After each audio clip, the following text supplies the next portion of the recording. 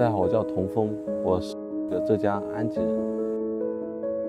我小时候生活在安吉，我对安吉有非常浓厚的感情。我之前创业在宁波的时候，我就想着，呃，能够就是我基本上每个月都要回回家一趟，对，看看家里的老人，然后在家里住一晚。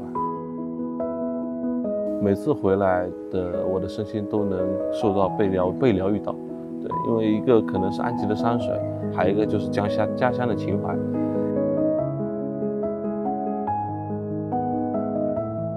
之前行情不好的时候，我们这边生意都很好。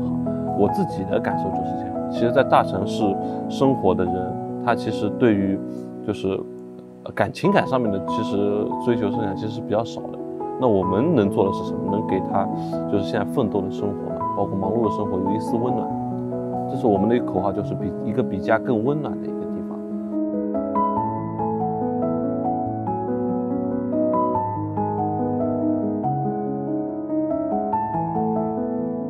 所以说我是，呃，想着本着这个理念去开民宿，包括我们每个设计点，我们希望我们的床品啊，我们的一些民宿的设施啊，我们的卫浴啊，都想着以舒适为主的去做。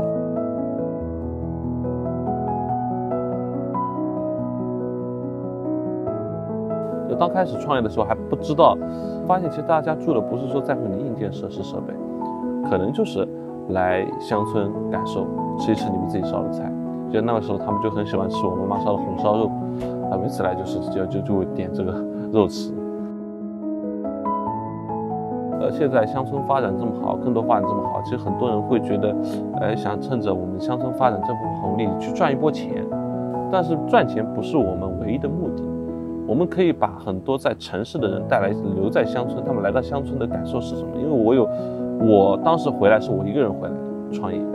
现在我带了我身边三十多个朋友过来，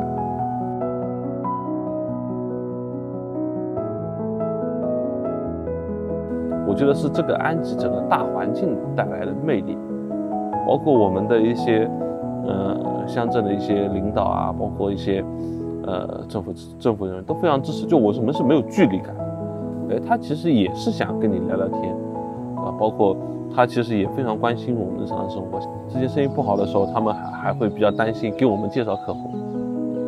所以说，其实就是这样一个城市，我觉得非常有魅力。安吉这里，也非常欢迎，就是各界人士、全球的来安吉发展。